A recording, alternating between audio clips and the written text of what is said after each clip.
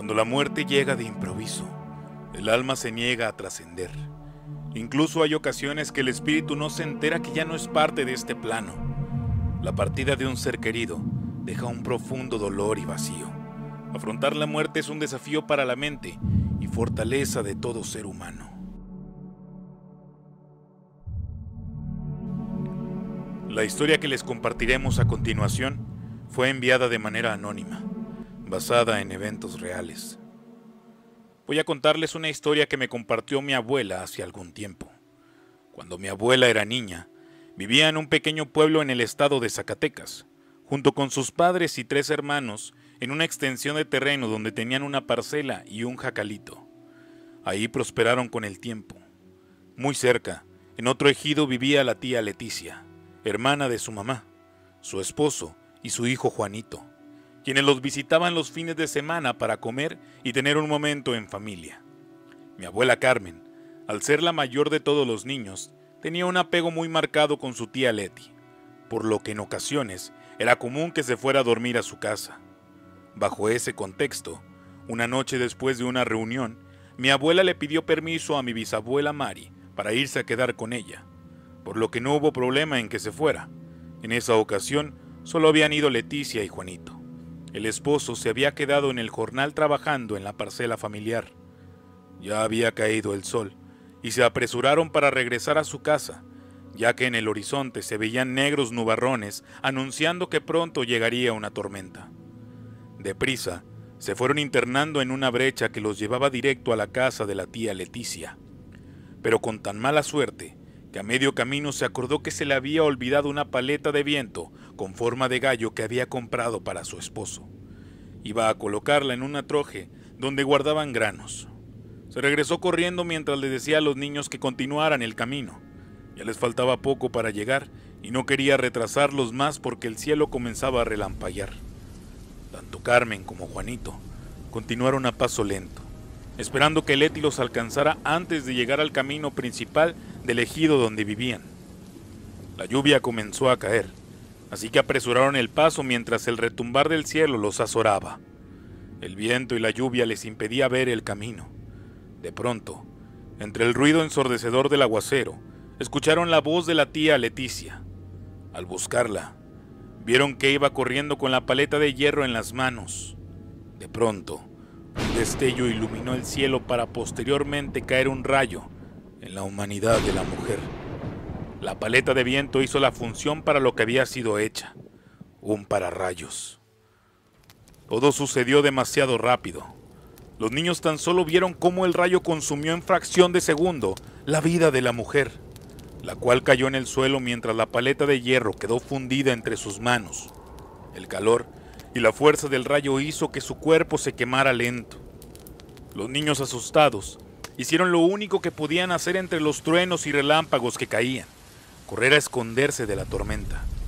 Con mucho pesar por la muerte de Leticia, encontraron dónde resguardarse en medio de unas rocas en un cerrito, donde se quedaron abrazados en medio de llantos y gritos que nadie pudo escuchar en tanto pasaba la tormenta. Arreciando apenas llegaron al refugio. Así pasaron las horas. El miedo y el shock de haber presenciado la muerte de un ser querido los mantuvo esperando por mucho tiempo aún y después de que dejara de caer la lluvia. Era ya de madrugada cuando los gritos desesperados de sus familiares los alertó. Vieron a lo lejos luces de lámparas y de inmediato salieron del refugio para correr a los brazos del padre de mi abuela Carmen, que venía acompañada del esposo de Leticia. Regresaron todos a la casa. El cuerpo de la afinada ya lo habían levantado y llevado de regreso. Con horror, los niños vieron lo que quedaba de ella metida en una tinaja con agua. Su cuerpo era un pedazo de carne carbonizada. El cuerpo tieso apenas cabía en la tinaja y sus brazos salían del agua haciendo una figura macabra. La razón de esta práctica era porque en esa región de tormentas creían que si te caía un rayo podía recuperarse al meterte en el agua, cosa que por supuesto no sucedió. Luego de la tragedia, sepultaron sus restos y la vida continuó aunque con pesar. Seis meses habían pasado de su deceso.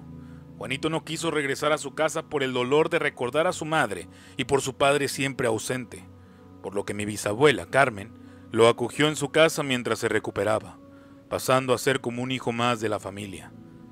Sin embargo, su comportamiento era errático y siempre muy extraño, tanto que acostumbraba a hacer tumbas de tierra en el patio, con cruces de carrizo a las cuales rezaba por alguna razón. Cierta noche, mi bisabuela metió a todos los niños a dormir ya que pasaba de la medianoche, pero antes de acostarse, reprendió a mi abuela Mari por ser la mayor, reclamándole que había dejado a los animales sueltos y afuera del corral por lo que le ordenó que fuera a encerrarlos. Por supuesto ninguno de los niños quería ayudarle por el miedo de la oscuridad. Mi abuela, como era la más audaz, no le tenía miedo a la noche. Le daba más flojera tener que levantarse e ir a hacer el encargo de su mamá, por lo que con mucho pesar salió a regañadientes al corral. El sitio estaba alejado de la casa, por lo que salió alumbrando el camino con una lámpara de petróleo, el cual muy apenas se iluminaba un par de metros. En medio de la noche, y rodeada de los sonidos del monte, llegó al corral donde los animales parecían aletargados, así que uno a uno los comenzó a meter. Ya iba en el último, un viejo jamelgo que era de su padre, cuando escuchó entre la oscuridad una voz muy tenue y susurrante, pensando que era alguno de sus hermanos que había mandado a ayudarla. Volteó para iluminar el camino sin poder ver a nadie. Nuevamente volvió a escuchar la voz, en un leve susurro, y esta vez pensó que sus hermanos la querían espantar por lo que empezó a decirles groserías pidiendo que salieran. Tomó algunas piedras aventándolas a la negrura con la intención de golpear a los insolentes. Refunfuñando, guardó al último animal y al atrancar escuchó que le susurraban. Al escuchar su nombre, se quedó petrificada al tiempo que sintió un escalofrío recorrerla de pies a cabeza. El temor la hizo estremecer y voltear para todos lados. La voz que había escuchado era la de su tía muerta, Leticia. El tiempo se detuvo. El canto de las cigarras anunciaban lluvia. De pronto, al sentir una mano en su hombro, salió corriendo, tomó el quinqué, pero en su loca carrera vio de frente el ánima de su tía. Con espanto, vio su cuerpo cadavérico y ennegrecido. Despedía un hedor como a carne quemada.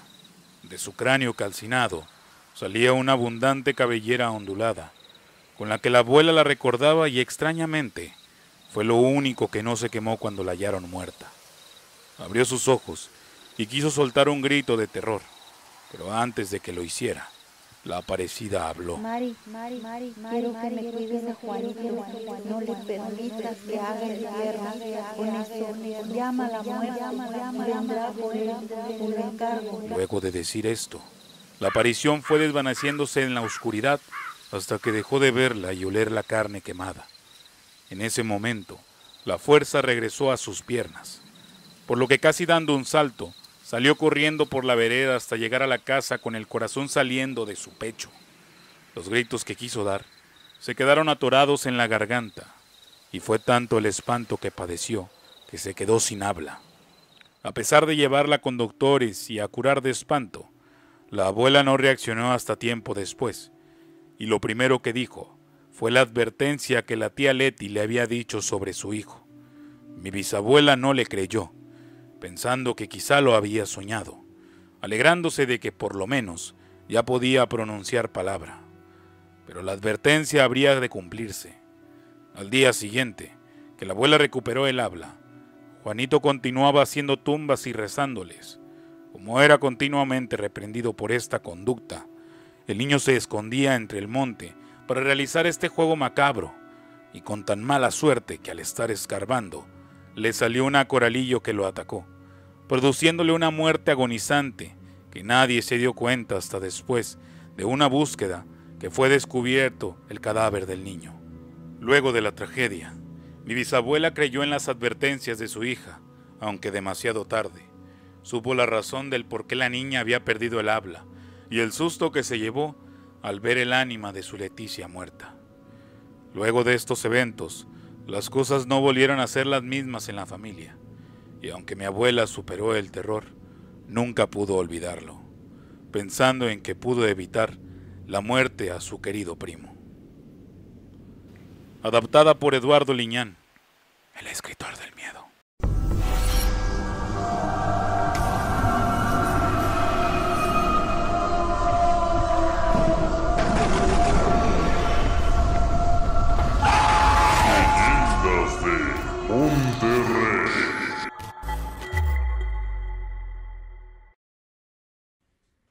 Bienvenidos a un capítulo más de Leyendas de Monterrey. La mayoría de nosotros, en algún punto de nuestras vidas, hemos vivido algún suceso paranormal que no pudimos explicar del todo. En esta ocasión, le relataré un hecho que generó algunas dudas en quien lo vivió, y probablemente les quede la misma sensación a ustedes al final del relato.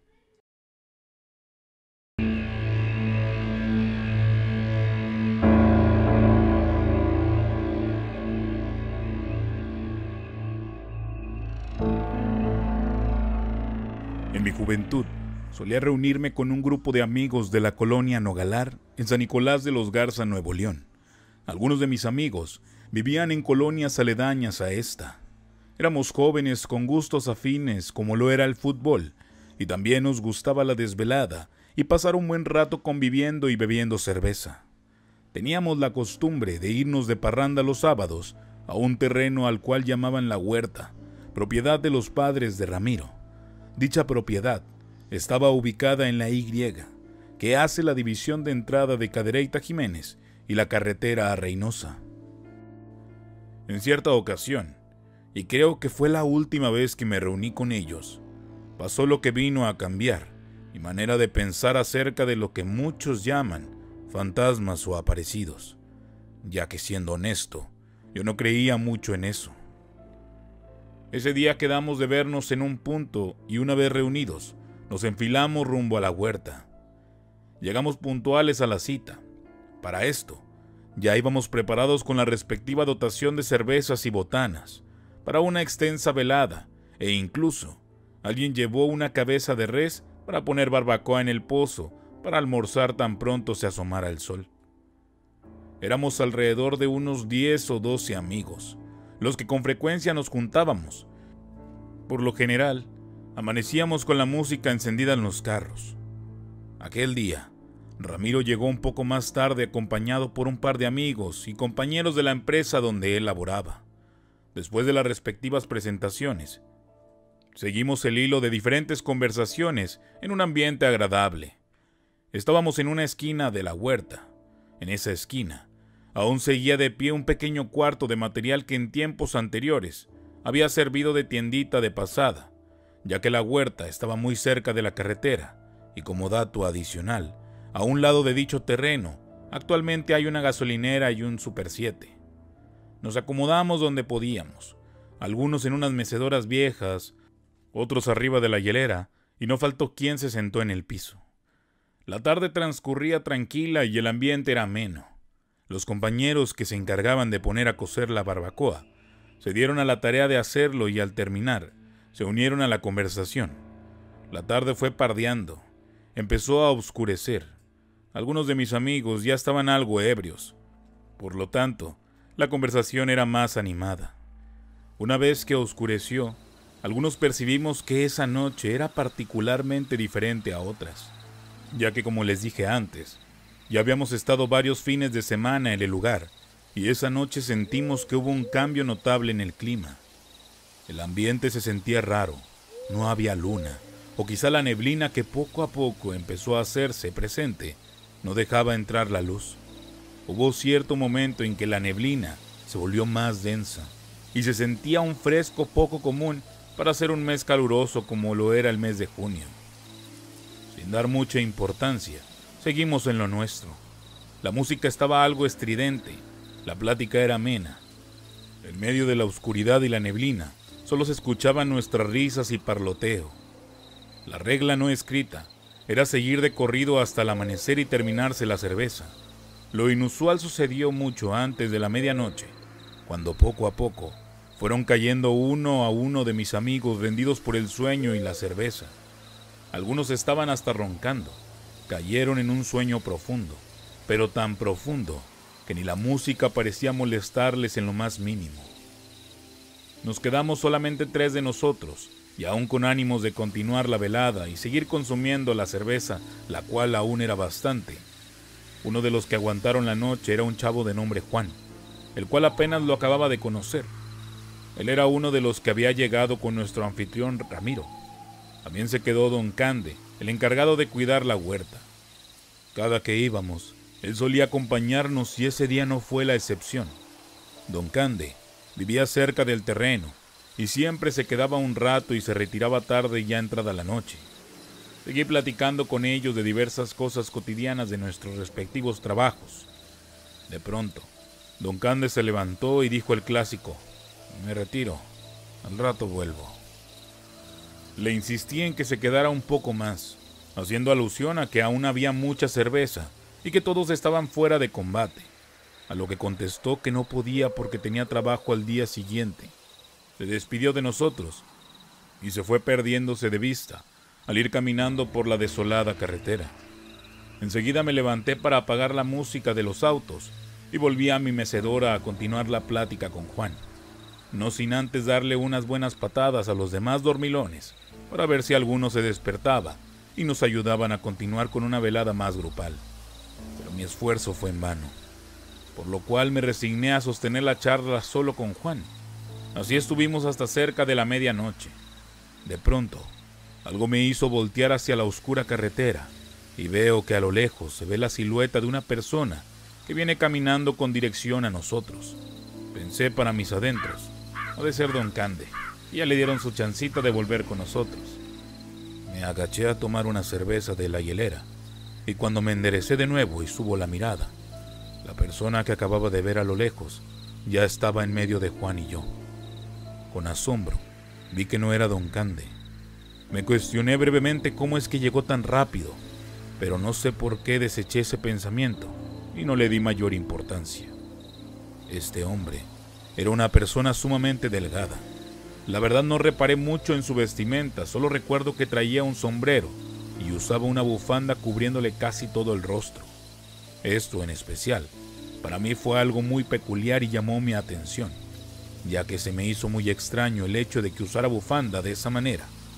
Es verdad que hacía frío, pero no era para tanto. Si a eso le sumas el hecho de que eran meses en que la bufanda no formaba parte de una vestimenta usual, y mucho menos tapando el rostro. Lo primero que se vino a mi mente es que posiblemente fuera un conductor al que le había fallado el auto en la carretera y seguramente requería ayuda. Le pregunté, ¿qué se te ofrece, primo? ¿En qué te podemos ayudar? El hombre, sin descubrirse el rostro, y con una voz en tono grave y voz seria contestó, Solo quiero un vaso de agua. Mi primera respuesta fue que no le podría ayudar, que solo teníamos cerveza y le ofrecí tomar una de la hielera. Aquí en este punto, aclaro que en aquella propiedad no había alguna toma de agua y en esos tiempos aún no se usaba el agua embotellada, o no era muy común, no lo recuerdo, pero de lo que sí estaba seguro es que no teníamos agua. El hombre volteó a ver a Juan y en ese momento se destapó la cara frente a él. La expresión de Juan cambió radicalmente. Su rostro reflejó una especie de horror de mezcla con asombro y miedo al verlo. Como yo acababa de conocer a Juan, pensé que era una persona miedosa o que tal vez me quería asustar.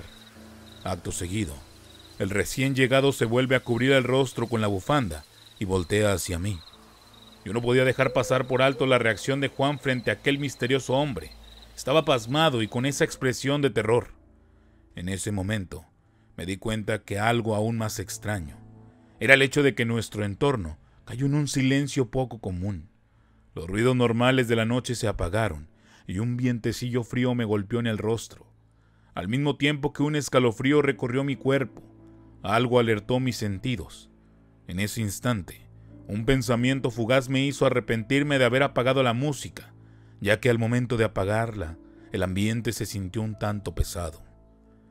Mientras transcurría esta escena, y como queriendo huir de la misma, traté de ser amable y me metí dentro de la tiendita. Por breves instantes fingí que buscaba agua. Salí de nuevo. Juan seguía como oído, y su cara reflejaba miedo y angustia. Su actitud me incomodaba. Entonces me asaltó la duda de qué cosa era lo que él veía. Me dirigí al hombre y le dije, Pues no, primo, no hay nada de agua, pero si gustas una cerveza, toma las que quieras.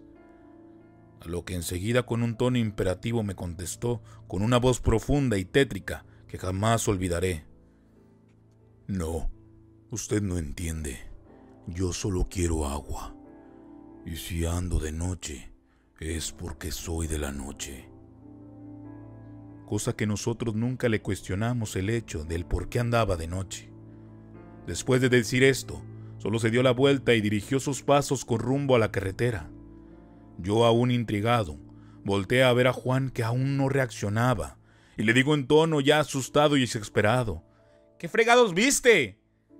Él, sin reacción alguna a lo que le estaba preguntando, y con los ojos muy abiertos viendo al vacío, se quedó estático. En ese momento no sé qué idea loca cruzó por mi mente, pero algo me hizo pensar que ese hombre le había hecho algo malo, causa por la que él se encontraba en ese estado de miedo.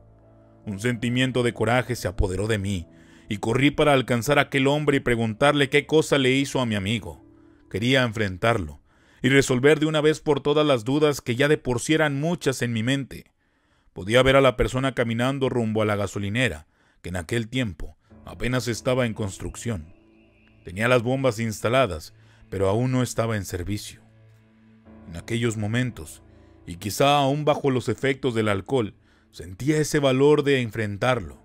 Quería saber por qué Juan estaba aterrorizado, quién era él o por qué se cubría el rostro frente a mí y por qué con Juan se había mostrado. Todos esos pensamientos hacían ruido en mi cabeza mientras corría tras de él. Justo estaba a unos pasos de alcanzarlo, cuando frente a mis ojos, y en medio de la densa niebla, la silueta de este hombre simplemente se desvaneció. No lo podía creer.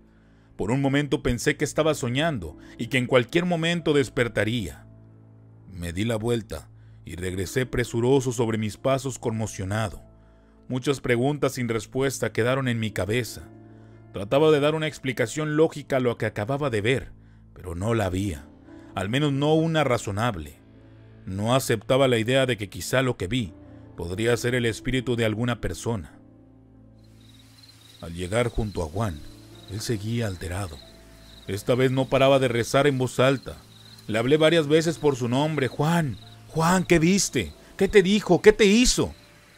Él ni siquiera se detenía a verme. Era como si yo no existiera. Caminaba nervioso de un lado a otro. Era obvio que estaba en shock, provocado por algo horrendo que vio y no se mostró ante mí. No supe qué hacer. Asustado traté de despertar a los demás. Me sentía nervioso, frustrado y francamente ya estaba con mucho miedo. Intenté despertar a los demás, los sacudí, golpeé, moví de muchas maneras, les insulté. Estaban alcoholizados, perdidos. Lamenté estar solo y haberme quedado al final. Pensé que ellos bebieron tanto que estaban inconscientes y no estaban para vivir conmigo aquello. Sé que en este punto muchos pensarán que yo estaba ebrio y que pudo haber sido producto del alcohol ingerido, pero ese día no había tomado tanto como para ver visiones. Desesperado, terminé por refugiarme en mi carro. Me sentí impotente de no poder ayudar a Juan y de no poder controlar la situación en que nos hallábamos. Traté de tranquilizarme y aclarar mis ideas. Me inquietaba a sobremanera que lo que vi no era de este mundo. No sé cuánto tiempo pasó, y desde el auto pude ver que Juan quizá ya cansado se acurrucó a dormir junto con los demás. Eso me dio un poco de tranquilidad. Me reacomodé en el asiento e intenté dormir un poco. La noche se me hizo muy larga. Medio dormité ansiando que llegara el nuevo día. Cuando amaneció, escuché voces, y al asomarme por la ventanilla del carro a la primera persona que vi fue al abuelo de Ramiro. El señor llegó muy temprano acompañado de don Candel, encargado de la huerta. El abuelo de Ramiro era un señor de avanzada edad. Caminaba lento apoyado de un bastón. A pesar de su avanzada edad, él solía ir a revisar la propiedad, sobre todo cuando sabía que habíamos estado ahí. Solo acudía para revisar que todos estuvieran en orden. Me bajé del coche y después de saludarlo, le conté lo sucedido la noche anterior. El señor, con toda la calma del mundo, me dice, Nombre, ¿de qué se asustan? Es el muertito. Antes de que estuviera del puente de Apeso, ahí hubo un percance donde él murió y a cada rato se aparece, hasta le puse nombre, el solo vino.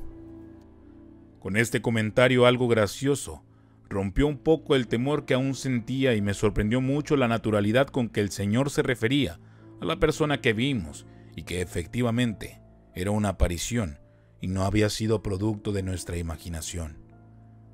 Más tarde, cuando despertaron todos, les conté, tratando de que no me escuchara Juan. Él se veía un tanto retraído, y tal parecía que ni se acordaba o fingía no recordarlo. Le reproché el hecho de que se durmieron temprano y me dejaron morir solo. Algunos lo tomaron a broma y hubo quien se atrevió a cuestionar a Juan, y él simplemente evadió el tema.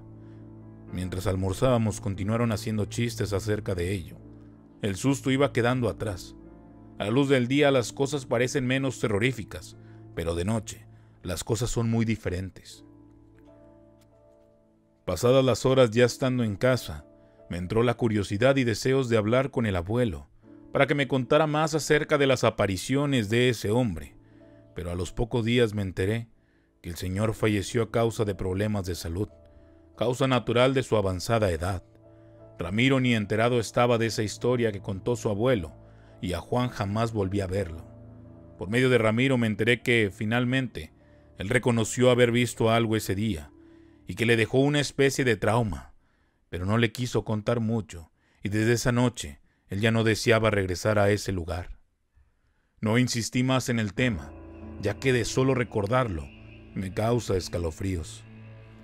Actualmente aún me pregunto el por qué esa persona se aparecía pidiendo agua que fue lo que vio Juan que tanto le atemorizó aquella noche.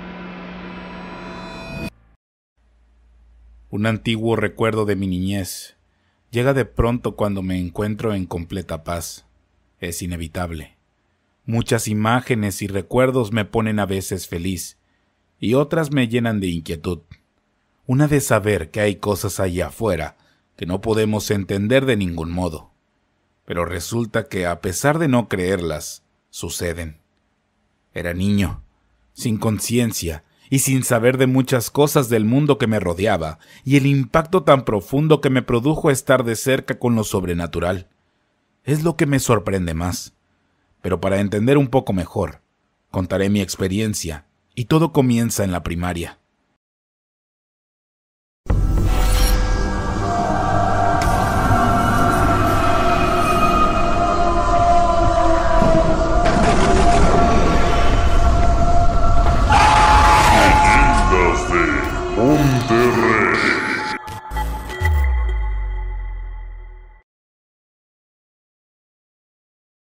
Historia basada en eventos reales.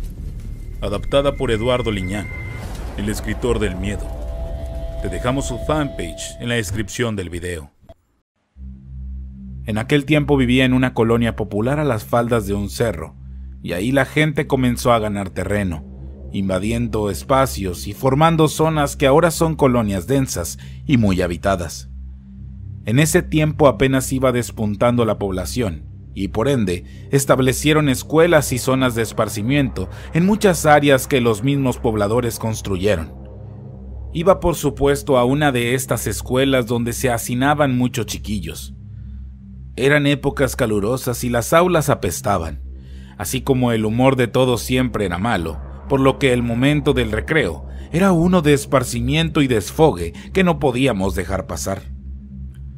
En ese tiempo había y hacíamos buenas amistades. Una de ellas era un chiquillo obeso y moreno que siempre decía malas palabras, pero era uno de mis mejores amigos. Todos le apodaban el oso, por su corpulencia y por el corte de pelo raso que hacía levantar su cabello, dándole ese aspecto de animal. No recuerdo muy bien su nombre.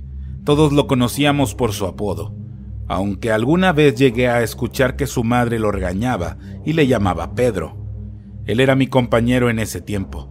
Estaba en el cuarto grado. Él había entrado en ese periodo pues venía de otra escuela. Expulsado por ser un peleonero y contestón con los maestros. Esa actitud no cambió aún con el cambio. No le tenía temor a nada. Su padre estaba en la cárcel y no sabíamos con certeza la razón. Su madre muy apenas lo atendía y le daba de comer. Trabajaba de mesera en una cantina muy cerca de la escuela.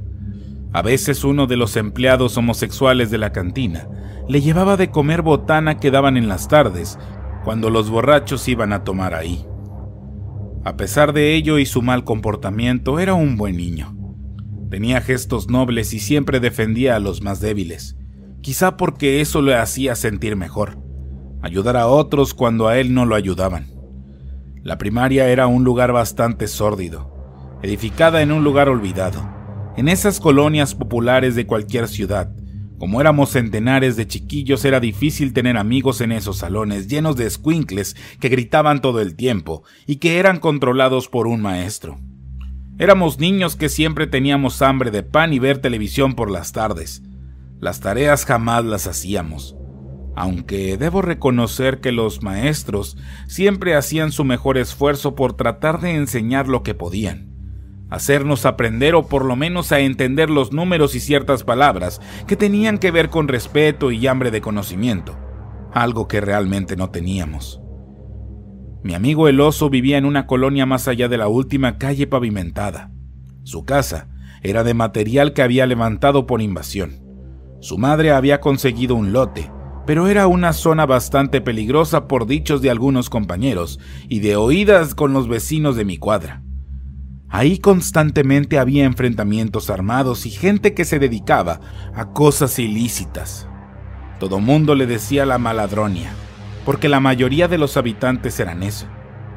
El padre de mi amigo había sido aprendido por esa razón y por la violencia que imprimió la última vez que asaltó una tienda de conveniencia, según decían los vecinos. Quizá por eso siempre andaba triste, desaliñado y andrajoso con una camisa percudida y arrugada con tres botones que hacían juego con un pantalón de color azul, que estaba brilloso de tantas planchadas, siempre con los mismos tenis mugrosos y sin calcetines. También era extraño que siempre andaba comiéndose un bolillo que se robaba en la tienda antes de llegar a la escuela. Su panza era muy grande por tanto refresco que tomaba, y alguna vez llegué a ir a su casa, y realmente era bastante horrible ese lugar lleno de gente indeseable, y todos padeciendo la misma hambre cada día. Durante el recreo siempre nos juntábamos varios amigos a jugar fútbol o a contarnos historias. Él siempre tenía cosas que decirnos. Mucho antes de que su padre fuera a la cárcel, siempre le platicaba historias de cómo había conocido gente y enfrentado situaciones de miedo, pues el hombre antes de ser delincuente se dedicaba a pescar en un barco camaronero. Decía que su padre había naufragado alguna vez y se había topado con sirenas y monstruos marinos que mataba solo con su valor y un cuchillo. Esas historias eran fantásticas, algunos les creían y otros no, pero eran tan bien contadas que te hacía sentir como si fueran ciertas. En cierta ocasión nos contó una que tenía que ver con un hecho sucedido días antes, muy cerca de su casa, Decía que por las noches podía escuchar cómo llegaban camionetas con hombres, que luego gritaban piedad o pedían ayuda debido al dolor de las heridas que les provocaban. En esa colonia había mucho baldío y casas viejas que servían de guarida para gente que se dedicaba a cosas ilícitas y que muchas veces despertaban a los pobladores con sus escándalos. Pero con la misma, se volvían a meter por el brillo de las armas que los hombres mostraban personajes siniestros que siempre iban portando una máscara negra o pañuelos para evitar ser descubiertos. Así era la vida salvaje en esa colonia, siempre al alba y pegados con el pecho en la tierra para evitar las balas cuando comenzaban los disparos.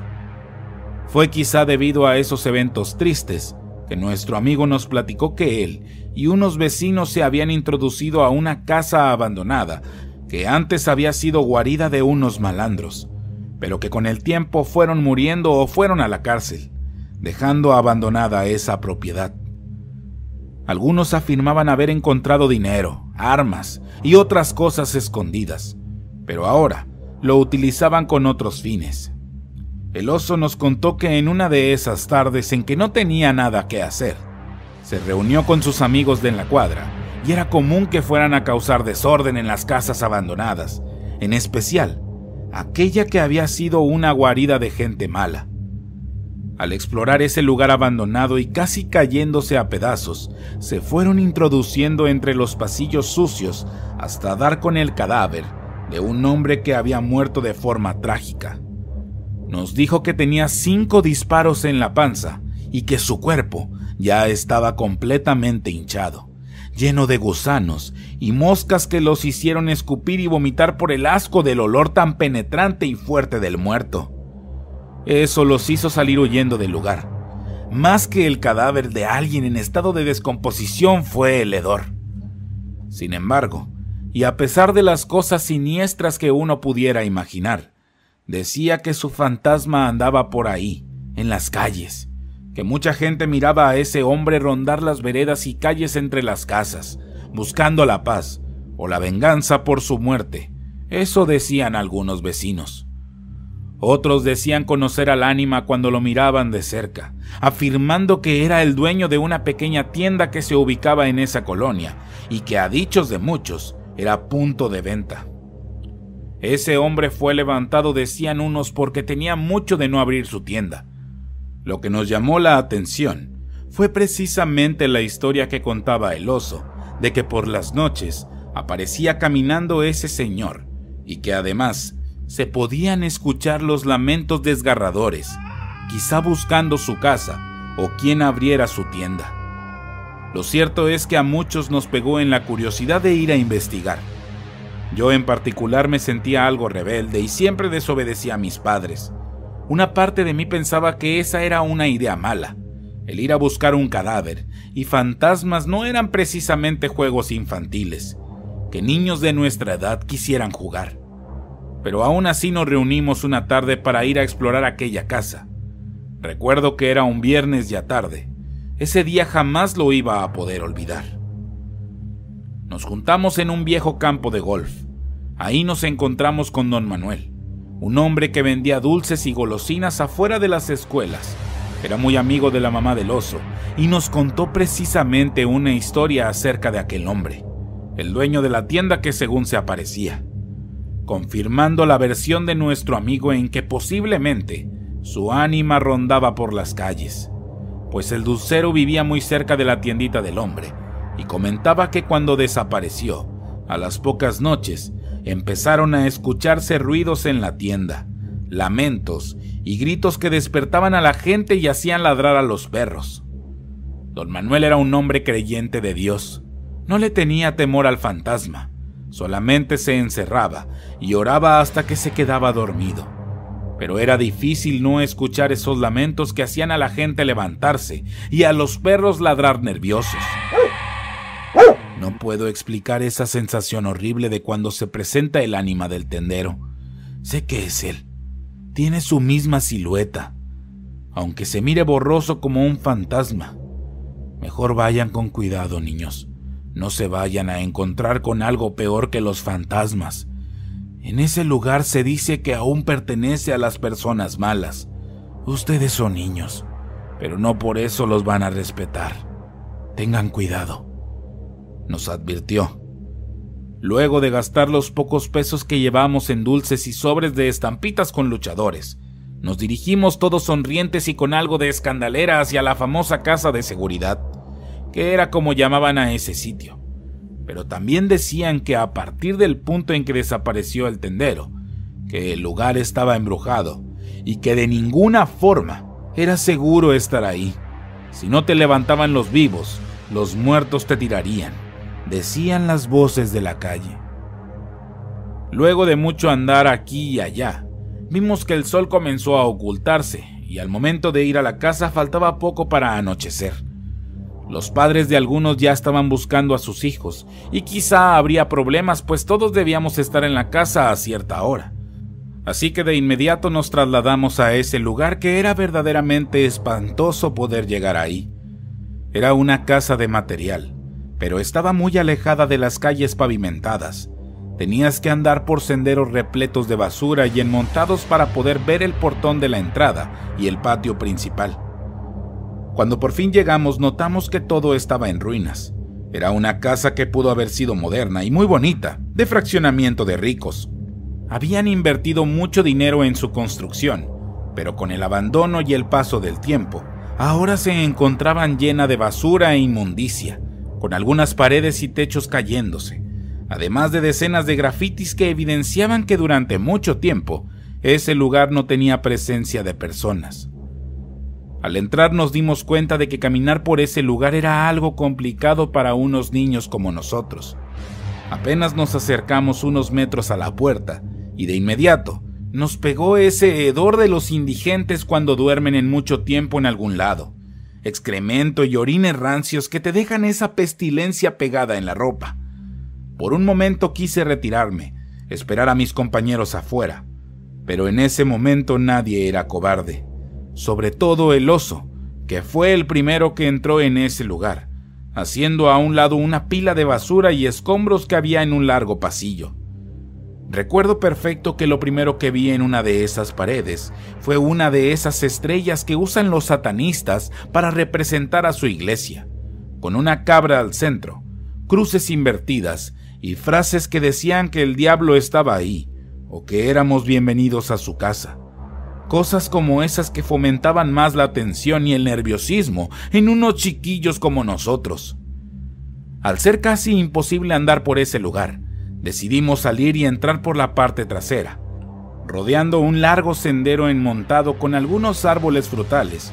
Algunas de esas frutas estaban tiradas en el suelo y no nos dio ninguna vergüenza tomarlas. Mientras las comíamos, llegamos a lo que había sido el patio trasero, donde aún se levantaban unos asadores y juegos infantiles ya oxidados. Incluso había una alberca rellena de tierra y piedras. Luego de mucho revisar, el oso nos llevó a una abertura en una de las paredes por donde había entrado previamente. Al entrar sentimos, además de la peste, algo más en el ambiente. Todo en el interior estaba oscuro. Había una vibración extraña que te hacía sentir como si alguien respirara detrás de ti y te estuviera observando todo el tiempo. A pesar de esas sensaciones caminamos firmes al interior en silencio y escuchando únicamente el crujir de las piedras bajo nuestros pies, avanzando por el pasillo central hasta unas escaleras que daban a la parte superior y otras que parecían bajar a un sótano. Al asomarnos a este lugar notamos que estaba lleno de agua sucia. Al intentar subir por las escalinatas, de pronto vimos surgir de uno de los cuartos del fondo la figura de un hombre que nos hizo sentir miedo y ganas de correr pero el oso se plantó firme y encaró a un indigente harapiento que nos miraba con recelo y desprecio. ¿Qué hacen, chamacos? nos preguntó el vagabundo andrajoso. Nada, venimos a ver algo, contestó el oso. De seguro andan buscando al muertito. no lo hallarán. Hace mucho que se lo llevaron. Váyanse. Dicho esto, se metió al cuarto donde se quedaba a dormir, notando que había una alumbrada y parecía estar cocinando algo. Nos acercamos con precaución en tanto el oso le preguntaba. Oiga viejo, ¿dónde está el muerto? ¿Es cierto que se anda apareciendo? El hombre se quedó mirando esa pequeña fogata con detenimiento. Después se rió y se nos quedó mirando con una sonrisa de dientes manchados que nos hizo estremecer y dijo, es mejor que no le anden buscando el ruido al chicharrón, porque se les va a aparecer el diablo. Si andan de curiosos y se sienten muy valientes, vayan allá atrás. Hay un cuarto donde guardaban bombas de agua. Miren bien, y si son valientes, no se muevan. Escuchen lo que escuchen. Esas palabras nos hicieron mirarnos entre nosotros, nuestro sentido común nos indicaba que debíamos irnos, pues ya habíamos visto lo suficiente. Pero la curiosidad fue más poderosa el dejar al hombre ahí, sumido en sus pensamientos y hablando solo en tanto le daba un trago a un alcohol barato. Salimos al patio trasero. Vimos que al fondo sobre una barda perimetral había un pequeño cuarto que también estaba cayéndose. Así que caminamos lento hacia este lugar y la oscuridad nos impedía ver con claridad pues ya era algo tarde. Al entrar en el sitio de inmediato nos pegó un hedor como a perro muerto, pero en realidad no era ningún despojo de animal lo que había. En la esquina de ese lugar se miraba un costal de azúcar manchado de algo y al acercarnos, el oso lo destapó con un palo, y ese movimiento hizo que el costal se cayera mostrando su contenido. Eran restos de un cadáver, quizá del tendero. Nos llevamos las manos al rostro y evitamos gritar, pero el oso se acercó con un palo para picar el cuerpo invadido de gusanos, y el ruido que hizo al clavárselo fue horrible. Fue como algo romperse. Al hacer eso el olor fue más penetrante en el momento que los gusanos caen al piso moviéndose como una masa uniforme. Escuchamos un lamento en el exterior. Pudimos ver al ánima del hombre detrás de unos árboles. Ahí permanecía una persona. Un hombre que nos miraba con mucho detenimiento y sentí que el tiempo se detuvo. Los segundos se hicieron interminables. De pronto, Aquella aparición abrió su boca como si quisiera hablarnos, pero en vez de salir una voz normal, empezó a salir una especie de balbuceo que aumentó la intensidad, hasta que nos dimos cuenta de que era un gemido. No me había dado cuenta de algo importante, y uno de los compañeros que era más listo que todos gritó, ¿Ya vieron que no tiene piernas? Al mirar, nos dimos cuenta de que ese hombre no tenía piernas de la rodilla hacia abajo. Estaba suspendido en el aire. Fue suficiente para hacernos correr y gritar espantados. Fue horrible nuestro encuentro con la muerte. Fue pavoroso. Era algo que no íbamos a poder olvidar en mucho tiempo. Cuando llegamos a la casa de uno de los compañeros, su madre nos recibió muy afligida. Todos estábamos claramente asustados, incluso el oso. Estaba llorando de temor y cuando le contamos la situación a la mujer, de principio no nos creyó azotando a sus propios hijos y metiéndolos para que ya no salieran. Nosotros nos quedamos afuera tratando de calmarnos, pero fue imposible. Lo único que restaba era regresar a nuestras casas y tratar de aligerar el miedo. Luego de esa experiencia algunos se enfermaron del espanto. Lo único que hice fue tragarme el temor, y eso quizá me afectó con el tiempo. No sé cuánto tiempo duró ese cadáver ahí, pero los días pasaron y no llegaban patrullas o gente que levantaba muertitos. Lo cierto es que durante mucho tiempo se pudo escuchar al tendero lamentarse, y era horrible, hasta que la gente se fue acostumbrando, y de pronto ya no se le escuchó más. Fue al paso de los años que el lugar creció, y esa casa aún permanecía ahí en ruinas. Recuerdo que iba a la secundaria y se me hizo fácil meterme a ese sitio solamente para comprobar algo. Al caminar al patio me asomé a lo que quedaba del cuarto, y en el interior no encontré gran cosa, solamente los vestigios del costal con el cadáver en descomposición, y volví a escuchar los lamentos, el gemido ronco de esa ánima que estaba por ahí, quizá esperando redención, y que encontraran sus restos. Estos estarían por ahí regados entre el monte. Lo único que hice fue alejarme y no volver más a ese lugar. Pero a veces puedo jurar que escucho los lamentos del tendero en el silencio de la madrugada. Bienvenidos a una historia más de leyendas de Monterrey. El punto de dejarnos llevar tanto por la mente nos puede llevar a un punto en el cual podemos llegar a dudar de la realidad o pensar que lo que estamos viviendo debe de ser un sueño. Pero desgraciadamente cuando no es así y todo es real y todo lo que has vivido realmente se hizo presente, es cuando te da un miedo tremendo. Te dejo el siguiente relato.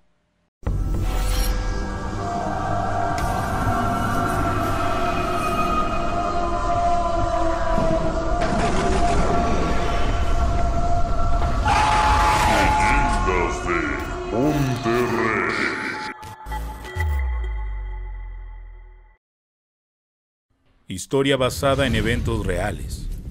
Adaptada por Eduardo Liñán, el escritor del miedo.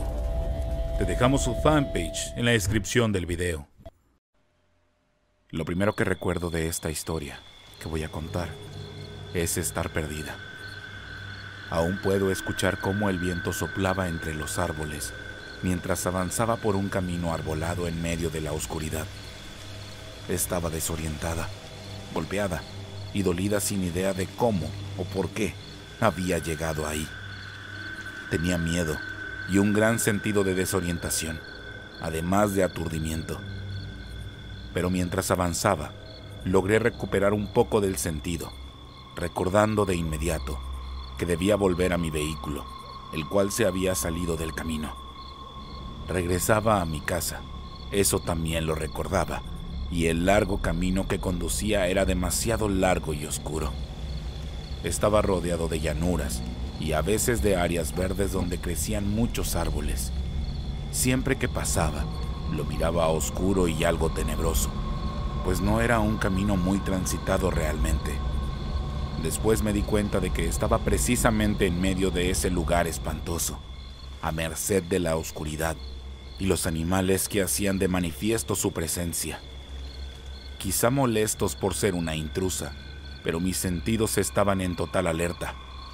Había algo más, algo que parecía estar ahí conmigo, y no era bueno, pues me provocaba precisamente mucho miedo, y tenía la idea de que también me había provocado esa desorientación que ahora me tenía temblando y preguntándome muchas cosas. Luego de un rato me di cuenta de que realmente estaba en un sitio donde no se miraba nada. La oscuridad era casi total. No sabía realmente cuánto tiempo había estado ahí. Tenía la sensación de que habían pasado muchos minutos y mientras avanzaba tratando de buscar el camino, me topaba con árboles o rocas que me impedían avanzar, teniendo que regresar sobre mis pasos.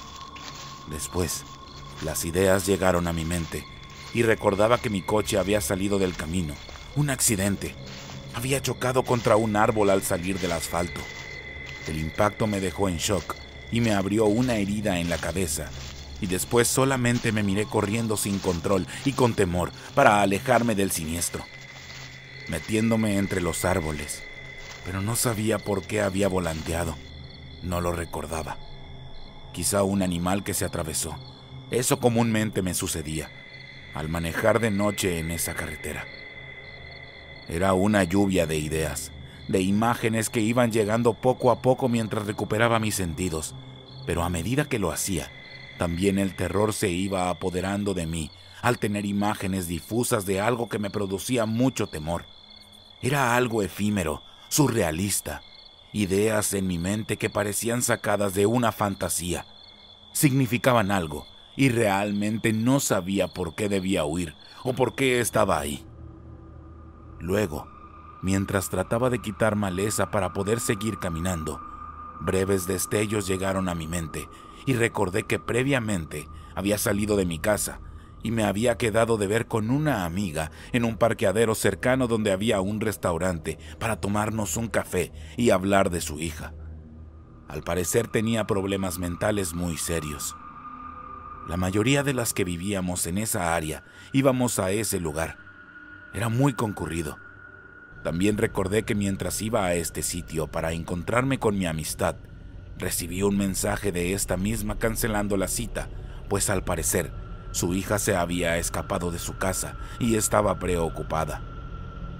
Ya estaba ahí. La había esperado por unos minutos y sentía algo de decepción saliendo de inmediato de aquel restaurante para dirigirme a mi casa, tomando el camino que siempre recorría cada día y cada noche. Me sentía algo desorientada pues había estado en ese lugar, donde había pasado tantas veces por esos mismos rumbos, hasta que pensé que sabía dónde debía estar la salida de ese corredor de árboles y maleza. Pero a veces, la familiaridad puede ser engañosa como alguien que conoces de pronto, o como tu casa donde a veces hasta puedes encontrar secretos, y como esa sensación extraña de ser observada detrás de los árboles. Te imaginas muchas cosas estando ahí, sobre todo en pensar la clase de horrores que habitan dentro de esta, o que de pronto algo va a surgir de entre las ramas para hacerte el peor de los daños. La ansiedad que te genera el estar perdido y sin memoria, aumenta aún más a cada paso sin rumbo. Así que comencé a correr desesperada, gritando por ayuda. Pero más tardé intentarlo que tropezar y caer al suelo mientras atravesaba la maleza frente a mí. Algo duro detuvo mi caída. No era una roca, era algo más. y esa sensación extraña recorrió mi cuerpo e hizo que me quedara estática, sintiendo cómo el viento se movía a través de los árboles por encima de mí. Algo crujió, algo hizo tronar las ramas a mi alrededor. Pensé de manera optimista que se trataba de algún tipo de animal moviéndose entre la maleza. Luego nada, solo el silbido del viento y el silencio del bosque después. Sé que no estaba loca Sabía que algo había todo el tiempo ahí. Lo sentí. Al recuperar la conciencia, sentí que alguien me había sacudido para que despertara, y mientras caminaba tratando de encontrar una salida en mi auto, pude notar las miradas, los susurros detrás de mi oreja y los ruidos que parecían anunciar la presencia de alguien al acecho. Al levantarme del suelo sentía que la piel me ardía. Algo me había golpeado o solamente era el que me hubiese detenido con algo duro. Pero sentía el golpe. Empecé a sentir un escalofrío recorrer mi espalda cuando vi una sombra pasar rápidamente frente a mí y luego se quedó estática, colocada detrás de unos arbustos. Entonces, cuando estaba a punto de dar un paso hacia adelante para escapar de esa extraña visión, Sentí un aliento frío en mi nuca de forma casi irreal y extraña, escuchando una voz profunda y rasposa que me susurraba al oído unas frases.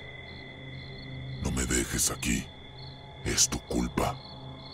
Casi instintivamente lancé un grito y me di la vuelta buscando en la oscuridad, pero mis ojos no miraban nada. En ese instante traté de echarle la culpa a la imaginación producto del momento tenso de estar perdida, intentando también convencerme de que había imaginado la voz, que de alguna manera no era más que una alucinación auditiva provocada por mis nervios y el susurro del viento sobre mi cabeza. Pero no podía dejar de sentir que algo había ahí. Aún seguía sintiendo que me observaban, que se acercaba algo cada vez más hacia donde estaba. Fue peor en el momento en que sentí como algo tocaba mi cabello y jalaba. Me volví hacia el frente y no pude más. Lancé un grito sonoro pidiendo ayuda, deseando con el alma que alguien me escuchara. Corrí sin control y sin dirección hacia cualquier punto. Lo único que deseaba era alejarme de ahí. La sofocación llegó pronto al sentir la falla de aliento, provocando que mi respiración quedara atrapada en mi garganta mientras corría sin ton ni son a través de la oscuridad. A mi alrededor podía ver destellos de luces extrañas que parecían colocarlo todo en sombras profundas y espeluznantes. Nuevamente sentí un crujir de algo avanzando hacia mí por detrás. Tuve el impulso de detenerme y mirar, pero mi sentido de conservación fue más grande y no me detuve a mirar. Mi corazón comenzó a bombear agitadamente, acelerando mi pulso. Sentía que iba a desfallecer por el esfuerzo de correr y en ese sitio, de alguna forma, la imprudencia era peligrosa. Pero no me importaba. Estaba cegada por el terror, corriendo más rápido y con mi corazón casi saliendo del pecho. De cierta forma, imaginé que estaba huyendo del peligro, pero ¿qué podía hacer una frágil mujer como yo ante algo desconocido y sobrenatural? pues presentía que era algo como eso. Una persona común ya habría salido para atacarme, lo habría visto, habría visto su cuerpo en la realidad, pero solo sentía la presencia y luego esa voz fantasmal. Eso fue lo que me dio la idea de que a quien estaba enfrentando era algo imposible. Debo confesar que realmente creía en fantasmas, Muchas de las historias contadas por mi abuela y mis familiares acerca de aparecidos y cosas espectrales de pronto llegaron a mí, a mi entendimiento, y me dieron la idea de que realmente estaba enfrentando algo como eso. Pero nunca imaginé que fueran ciertos, pues no había una prueba fehaciente de que algo así existiera. Pero ahora, al ser acosada por algo invisible y fuera de este plano, mi entendimiento me estaba traicionando. Además, que mi cuerpo que parecía ya no responder a los impulsos del miedo. Pero una nueva fuerza se instaló en mí en el instante que sentí un roce muy frío en la espalda. A pesar del miedo, miré alrededor sin darme cuenta que tropezaba con una roca del suelo, cayendo con fuerza en el piso, con un dolor lacerante en mis dedos Me quedé ahí por varios momentos, parpadeando, mirando para todas partes y sintiendo que mis lágrimas salían de mis ojos sin control, mientras intentaba no desfallecer por la falta de aire. Tuve que aclarar mi visión limpiándome los ojos con mis manos llenas de tierra. Eso me obligó a ponerme de pie. Al hacerlo, se presentó finalmente una figura vaporosa. Emergió de las sombras frente a mí. Era todo. El terror me consumió hasta la última fibra de mi ser.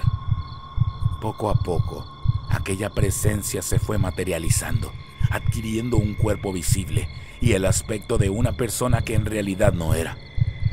En principio, noté que era una mujer por su largo cabello y una túnica que le caía al suelo. Solo tardé un segundo en darme cuenta de que no era una persona viva.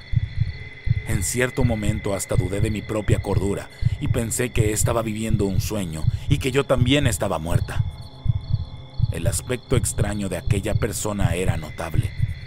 Sus ojos eran demasiado brillantes, casi iluminaban en la oscuridad que nos rodeaba.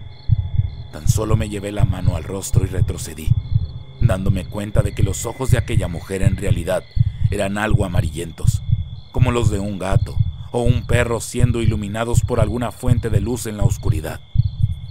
La piel pálida del espectro se notaba muy blanca, Casi podía ver a través de ella y una pequeña comisura en la boca que parecía sonreírme, pero con algo de horror. Noté que en realidad que sus pequeños dientes me sonreían de una manera malévola y nuevamente habló con esa voz que recordaba, diciéndome, No me dejes aquí, ven conmigo. El susurro en ese instante me dio nuevas fuerzas que llegaron a mi cuerpo, producto del temor haciéndome levantar y correr. Lo único que quería era salir de ahí, y estaba realmente atrapada. No sabía realmente a dónde iba y no me importó. Lo único que deseaba era alejarme. Ya ni siquiera quería llegar a mi auto o a la carretera. Nada me importaba, excepto alejarme de la cosa que me perseguía, luchando por contener el grito que me estaba asfixiando y me hacía doler la garganta. Luego de llegar a un claro, y tener de frente una línea de árboles, pude notar con sorpresa que delante había una especie de malla por donde había un agujero. No lo pensé dos veces y me metí por ahí, saliendo a una especie de estacionamiento donde solamente había un pequeño poste iluminando toda la oscuridad. Tan solo me quedé abrazada de este para contenerme y recuperar el aliento. Traté de ubicarme y estaba en una estación de servicio. Más allá se miraban algunas personas que parecían estar dormitando mientras esperaban autos para cargar gasolina. Sentí cierto alivio, así que corrí sin parar hacia la luminosidad de la estación y de los despachadores, los cuales, al verme llegar toda pálida y sucia, se preocuparon, preguntándome qué había pasado. No podía decir una sola palabra y me quedé ahí, estática tan solo respirando el aire cargado al aroma de la gasolina y el aceite de auto. Cuando por fin pude recuperarme un poco, solo pedí permiso para entrar en el sanitario y lavarme. Los hombres me indicaron el camino, y era un pequeño sanitario de damas que estaba medio limpio, pero no me importaba en ese momento. Me lavé el rostro, me miré al espejo. Mis ojeras abultadas debajo de mis ojos me hicieron estremecer al recordar la situación, y casi iba a terminar e iba a darme la vuelta para salir, cuando siento que una mano fría me agarraba por detrás. Además unos dedos muy duros se retorcieron y me jalaron fuerte el cabello, tirándome la cabeza hacia atrás y hacia arriba de forma violenta, mientras escuchaba la voz ronca y profunda de aquella mujer fantasmal susurrándome de nuevo en el oído. Te dije que vinieras conmigo. Sentí el grito salir desde lo más profundo de mi ser. Mi cuerpo sufrió un espasmo violento y traté de soltarme de la cosa que me sujetaba del cabello, pero fue inútil. Aquellas manos y la extremidad que la sostenía eran tan duras como una roca. Liberándome por un momento caí al suelo. La luz del sanitario comenzó a parpadear y rogaba porque no se fuera, o sería todo para mí en ese instante. Tan solo cierro los ojos y siento que mis lágrimas calientes comenzaban a caer por mi rostro Y cuando pensé que todo iba a terminar ahí, de pronto siento que alguien sacude mi cuerpo tratando de hacerme volver y reaccionar. Era uno de los dependientes de la estación. Su compañero estaba detrás mirándome con detenimiento y diciendo algo sobre que estaba loca o tenía un viaje de drogas, burlándose. No me importó. El otro tipo trataba de ayudarme y hacerme reaccionar diciendo que todo estaba bien, pero no lo estaba. Me levanté del suelo tratando de quitarme la sensación del agarre y el temor. Al salir para ubicarme bien y saber dónde estaba la estación, intuí que mi auto estaba metros más adelante, donde había salido del camino, pero no quise ir sola. Me quedé ahí y pedí prestado el teléfono para llamarle a la amiga que previamente me había cancelado. Ella vivía más cerca. Al responderme estaba muy afligida. Su hija aún no había llegado a su casa. Sus padres le habían dicho que, debido a su tratamiento psiquiátrico, tenía que tomar medicamentos. Pero en su necedad se los tomó todos al mismo tiempo y salió completamente narcotizada de su casa sin rumbo. Solo permanecían esperando. Pero no había llegado en toda la noche. Yo no podía escucharla. Solo le decía que necesitaba ayuda y que estaba en la estación de servicio así que quedó en pasar por mí. Esperé por varias horas hasta que finalmente llegó junto con unos oficiales de la policía. Al señalarme con el dedo y afirmar que era yo, no podía comprender qué estaba sucediendo. Los oficiales simplemente me esposaron y me llevaron a la patrulla, no sin antes decirme que era responsable por la muerte de la hija de mi amiga. La había atropellado y al hacerlo, quedó bajo el auto cuando salí de la carretera, matándola casi al instante. El impacto tremendo me golpeó en la cabeza, por eso tenía la sangre y me dolía, y por eso estaba ahí, huyendo en medio del bosque. Con el tiempo supe que en realidad, y luego de ver fotografías del accidente y la hija de mi compañera, ella era el mismo espectro violento que todo el tiempo estuvo persiguiéndome en el bosque, y sigo viviendo atormentada por aquel suceso. No sé si realmente voy a poder quitarme la culpa, la cual se hace presente todas las noches, cuando aquel fantasma del bosque aparece en mi celda para atormentarme y recordarme que me está esperando, quizá en el mismo infierno. Bienvenidos a una historia más de leyendas de Monterrey. La insaciable búsqueda de posesiones y la falta de respeto hacia los demás, incluso en la muerte, pueden tener consecuencias devastadoras. Este anhelo desmedido puede oscurecer el juicio y conducir a las personas por un sendero sombrío. Nuestras acciones, cuando están impulsadas por este deseo insaciable, desencadenan una espiral descendente de sufrimiento y desdicha, como es el caso de la siguiente historia.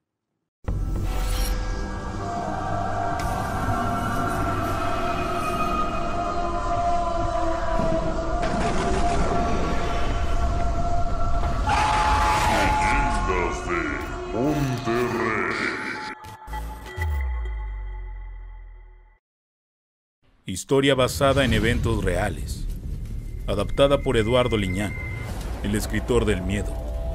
Te dejamos su fanpage en la descripción del video. Al caer la noche, la luz de la luna iluminaba mi rostro, mientras Javier y yo, sepultureros de un antiguo cementerio, nos sumergíamos en la oscuridad de la tumba recién excavada. Aquel lugar que debería ser un sitio de descanso eterno se había convertido en el escenario de nuestra despiadada empresa. Después de cada funeral, cuando todos se habían retirado, empezaba nuestro ritual macabro. Con palas en mano, desenterrábamos los restos de los difuntos y saqueábamos todo lo que yacía con ellos en el ataúd. Relojes, joyas, pequeñas herencias destinadas a acompañar al difunto en su viaje al más allá todo terminaba en nuestras manos codiciosas. Nuestro pacto silencioso garantizaba que cada objeto robado se revendiera clandestinamente fuera del panteón y repartirnos las ganancias. Como sepultureros, nos dábamos cuenta de los difuntos pudientes y con qué objetos eran enterrados, y en complicidad con el borracho cuidador del panteón. Aquello era relativamente fácil. Solo quitar cubiertas que nosotros mismos colocábamos y sacar las cosas de valor. Aquello se volvía una fuente inagotable de ingresos, una aberrante fuente de ganancias que justificábamos con la perversa idea de que si ya no le servía al muerto, a los vivos sí. Ese era nuestro lema, nuestra filosofía retorcida que nos permitía dormir por las noches, a pesar de los actos aberrantes que perpetrábamos. Nos convertimos en sombras, siempre esquivando las miradas inquisitivas de los demás trabajadores del cementerio. En nuestra mente, la moralidad era solo una palabra vacía, eclipsada por la codicia que guiaba nuestras acciones. Pero la oscuridad siempre cobra su precio y el destino nos tenía reservada una lección. Una noche, mientras profanábamos la tumba de un comerciante adinerado, encontramos un extraño amuleto que emitía una luz tenue y un escalofrío heló nuestros huesos. Ignorando las señales del destino, tomamos el amuleto como un simple objeto más para nuestro botín, pues se notaba valioso. Desde ese momento, la atmósfera del cementerio cambió notamos muchas manifestaciones y voces que provenían de todas partes. Los perros ladraban de forma frenética, nerviosos por el ambiente que se dejaba sentir. Tan solo huimos de ahí con la bolsa llena de objetos y ni siquiera tapamos bien la tumba, por lo que corrimos apresurados e incrédulos de lo que estaba ocurriendo. Pero aún así, no dejamos nada y salimos. Javier llevaba la bolsa con todo, y solo lo vi correr en la penumbra, alejándose. A pesar de ello confiaba en él. Muchos atracos habíamos realizado y era honrado a la hora de repartir y vender las cosas.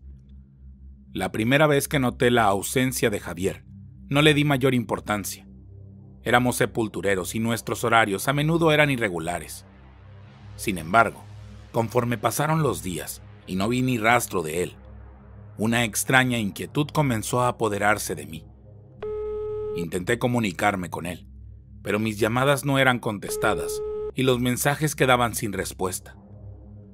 Fue entonces cuando decidí ir a buscarlo. Su humilde casa estaba en un barrio popular con gente de mucha necesidad y era muy deplorable en muchos sentidos. La suya no era la mejor y estaba sumida en un silencio extraño apenas llegué.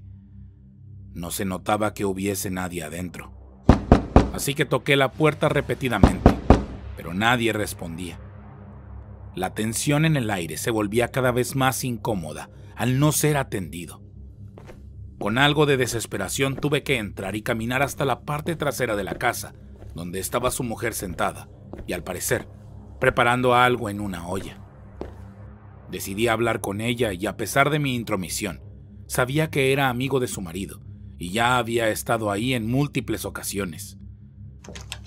Al abrir la puerta, reveló en sus ojos el tormento que llevaba días agobiándola.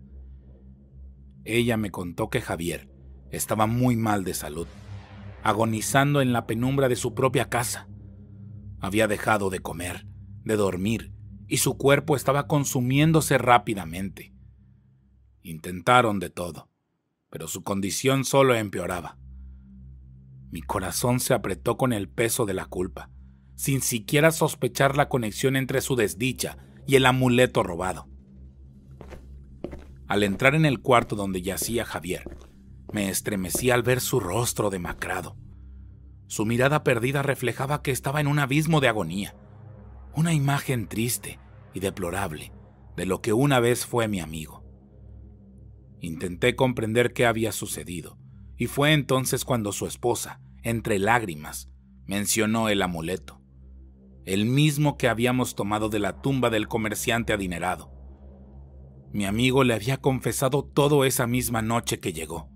Además del amuleto, eran muchas cosas de valor que iba a vender. Su mujer lo sabía todo y lo ayudaba con esta labor. Pero ese objeto que tenía en el cuello, el cadáver, era notable. No quisieron deshacerse del mismo, por lo que mi amigo se lo puso en el cuello, y ahí, comenzaron los primeros problemas. La historia se volvía cada vez más sombría. Resultó que el espíritu del comerciante, enfurecido por el saqueo de su descanso eterno, había comenzado a acosar a Javier. Primero con sueños perturbadores, sombras que se movían por la casa y una presión en el pecho cada que intentaba dormir y que lo ahogaba a medianoche. La maldición del amuleto se había desatado sobre ellos y ahora Javier pagaba el precio. Las noches se volvieron un tormento para ellos. Los lamentos desgarradores resonaban por toda la casa, como si el mismísimo viento llevara consigo las angustias del más allá. La presencia del espíritu se hacía sentir de manera cada vez más tangible. No hablaba, pero sus ruidos guturales erizaban la piel y helaban la sangre. En las primeras noches, el espectro se manifestaba como una sombra en la esquina de la habitación. Su rostro, cargado de ira y mirada vacía, perforaban el alma de Javier. La pareja, atemorizada, se ponía a rezar debajo de las sábanas, escuchando impotentes los lamentos y murmullos que provenían de las sombras y del espíritu. Con el paso de los días el espíritu se volvía más agresivo. En una ocasión, mientras Javier yacía en la cama, sintió como algo tiraba de las sábanas con una fuerza sobrenatural. Un forcejeo silencioso, pero violento, se desató en la oscuridad de la habitación. La esposa al lado de su marido presenciaba la lucha invisible horrorizada por lo que ocurría. En otras noches, el espíritu parecía empeñado en arrastrar a Javier fuera de la casa. Sus pies eran jalados con fuerza, como si manos invisibles intentaran llevárselo hacia la oscuridad. La habitación se llenaba de sonidos inhumanos, susurros amenazadores que resonaban en los oídos de la pareja, provocándoles mucho horror y tormentos. El punto terrorífico de esta situación llegó una noche en la que Javier se encontró a sí mismo en el oscuro patio trasero de su casa. Estaba descalzo, sin entender cómo había llegado hasta ahí. La oscuridad era asfixiante y solo se escuchaba el susurro del viento y los suspiros desesperados de algo que estaba cerca de donde se encontraba. La experiencia dejó en él una sensación de vulnerabilidad abrumadora. Un escalofrío recorrió su cuerpo dejándolo petrificado, cuando una presencia etérea tomó forma frente a él. La oscuridad lo cubría como un manto, pero en medio de esa penumbra emergió la figura del comerciante adinerado, con el rostro contorsionado por la ira y los ojos cargados de acusación. El espíritu con una voz que resonaba en el aire, como el susurro del viento, acusó a Javier de ladrón, culpándolo por el robo del amuleto que yacía en su tumba. La culpa se recargó de un peso invisible, mientras el comerciante, con una mezcla de tristeza y furia, le exigía que devolviera la reliquia para que pudiera descansar en paz. Las palabras del espíritu eran como cuchillos en las entrañas de Javier. Le habló de las consecuencias de su codicia, de cómo había profanado la paz de los muertos y desencadenado una maldición que no tenía fin. La advertencia se mezclaba con los lamentos y susurros que habían acosado a Javier y su esposa durante tanto tiempo. Lo amenazó con tormentos inimaginables si no se devolvía el amuleto. Habló de noches interminables de sufrimiento, de sombras que lo perseguirían hasta la locura y más allá. La imagen del comerciante se desvaneció lentamente en la oscuridad, pero sus palabras quedaron suspendidas en el aire, como un eco ominoso que resonaba en la mente de Javier. Después de esa experiencia sobrenatural, la vida de mi compañero se convirtió en una pesadilla continua. La advertencia del espíritu se volvía realidad, y la presión del remordimiento y el miedo lo consumían. La única salida que vislumbraba era devolver el amuleto y poner fin a la maldición que había desatado. Pero enfrentarse a las consecuencias de sus acciones se volvía una tarea titánica. Mientras el espíritu vengativo continuaba su implacable persecución, recordando que el precio de su avaricia debía pagarse con su sufrimiento. Con el tiempo, la salud de Javier se resquebrajó. Noches sin dormir, la constante tensión emocional y el terror palpable que experimentaba en su propio hogar comenzaron a manifestarse físicamente. Su rostro palideció, sus ojos perdieron el brillo y su cuerpo se debilitaba ante la implacable persecución fantasmal. La casa se convirtió en una prisión de la que no podían escapar. La pareja vivía en un estado constante de alerta, oyendo los lamentos y enfrentando la violencia invisible que los rodeaba. Desesperado por ayudar a mi amigo, me embarqué en una búsqueda para deshacer el mal que habíamos desencadenado. El horror que se desató fue una auténtica pesadilla. Mis noches se convirtieron en un interminable tormento, acosado por sombras y susurros incesantes que llenaban mi hogar.